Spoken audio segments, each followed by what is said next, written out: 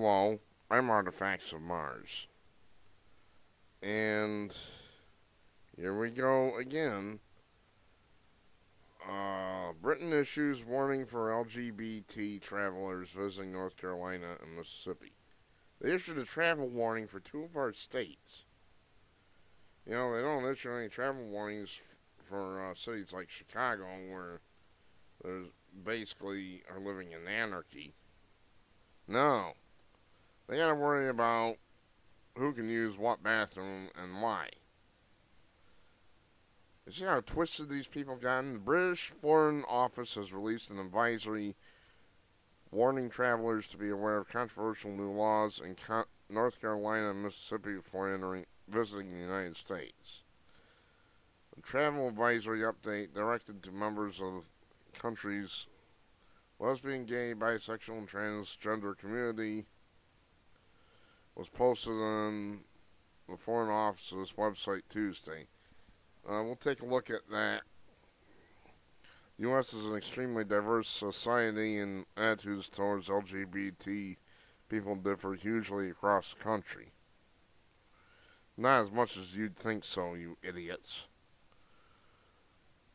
LGBT travelers may be affected by legislation passed recently in the states of North Carolina and Mississippi. Not your business. For traveling, please read our general travel advice for the LGBT community. North Carolina, the controversial HB2, the controversial law passed last month that limits LGBT produ- protections and forces transgender people to use bathrooms corresponding only with the gender on their birth certificate, which makes sense. Mississippi's law passed earlier this month allows businesses to refuse services to gay couples based on religious objections. See, it allows them to, you know, if they have religion, they don't uh, want to celebrate, and I even hate to say this, a marriage of two men or two women, they can basically say no. But I've been rejected for. You don't always get what you want. You, I've been rejected for service before and never even been given a re- reason. So, new legislation has led to boycotts and backlash in the business community. Bruce Springsteen Ringo Starr, Pearl Jam.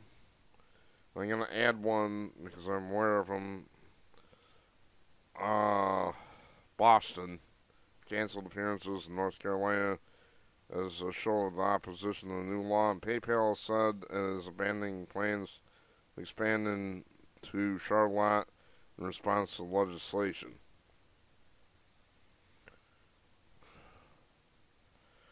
Some cities and states, including San Francisco, District of Columbia, and State of New York, also banned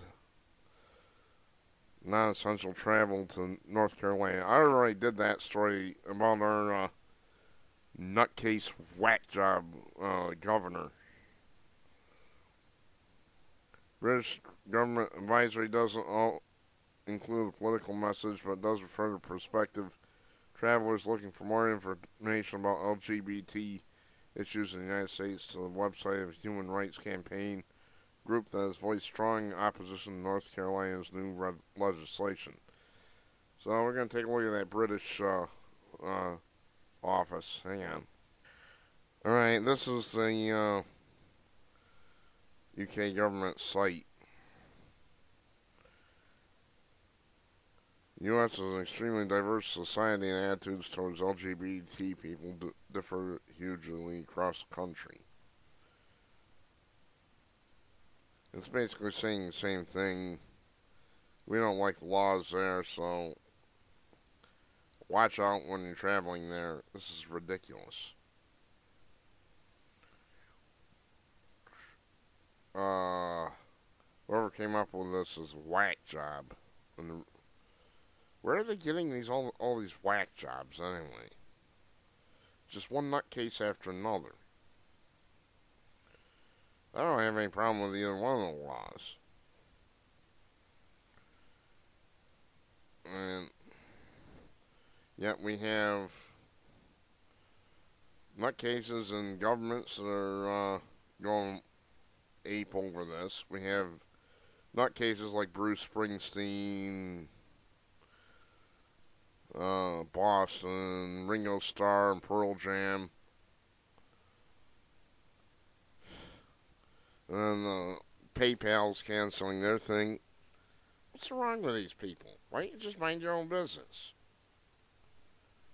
You don't have to like the law, just obey it, you idiots. Laws I don't like, but I obey them anyway.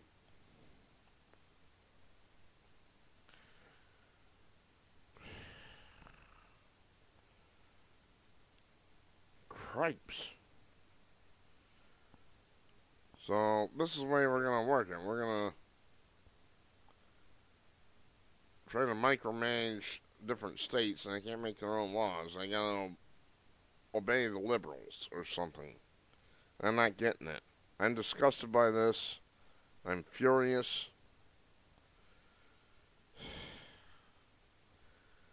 Thank God for North Carolina and Mississippi. That's all I got to say. And as for you, Bruce Springsteen, Ringo Starr, Pearl Jam, whoever that is, I have heard of them. Uh, you ought to be ashamed of yourselves. You disgust me. It's only a lack of time that hasn't kept me from really blasting them. I uh, like the way Jim Quinn put it on his uh, morning show.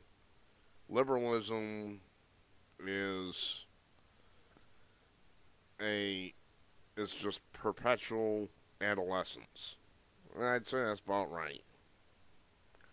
And the reaction to these laws is extremely adolescent or maybe pre-adolescent. I'm Artifacts of Mars. Thanks for watching.